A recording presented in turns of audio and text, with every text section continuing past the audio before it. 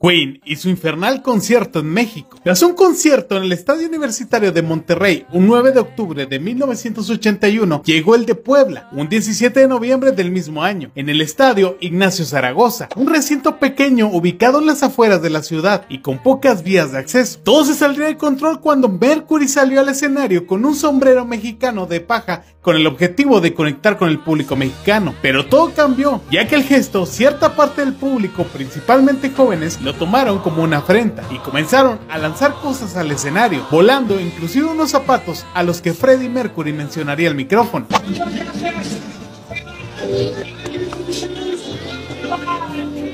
Al día siguiente, la banda cumplió con su compromiso con una segunda fecha en Puebla, donde la gente se comportó al nivel, a lo que la banda agradeció, pero cancelaron las otras fechas de Guadalajara y Ciudad de México. Roger Taylor recuerda la gira por México donde había sido todo un infierno